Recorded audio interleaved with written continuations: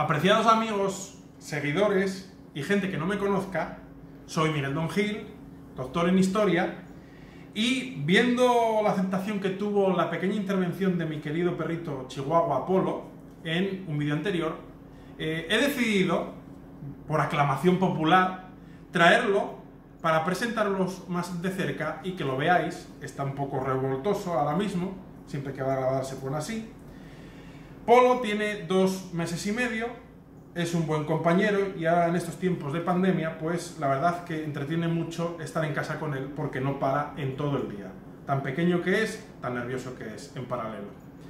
Y aprovechando que os presento nuevamente a Polo, quisiera hacer una breve reseña histórica de la raza de los Chihuahua.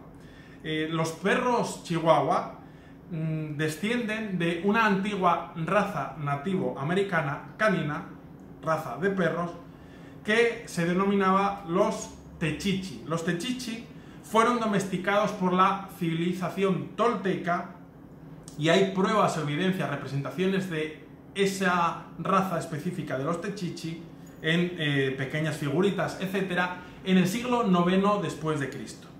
Cuando la civilización tolteca mm, sea absorbida por los aztecas, eh, también van a aceptar los aztecas a este perrito pequeño para eh, perrito de compañía. Y también creían que tenían ciertos poderes sobrenaturales, que absorbían las enfermedades, por ejemplo, y que acompañaban las almas al más allá. Por eso sus dueños solían ser enterrados con ellos eh, para un buen tránsito al otro mundo.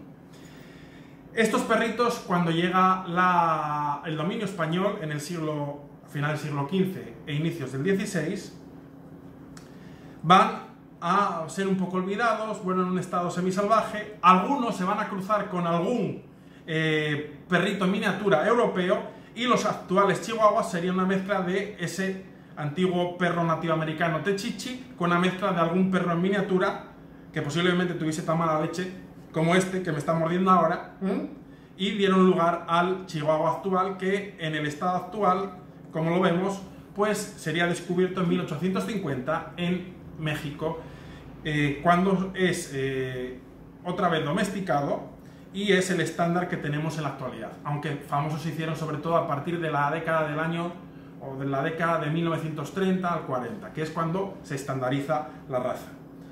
Bueno, me voy a despedir de todos vosotros después de esta breve reseña histórica con mi querido Chihuahua Polo, que eh, luce sus bonitas galas con su cascabel nuevamente. Y me despido de todos vosotros hasta un próximo vídeo. Un abrazo.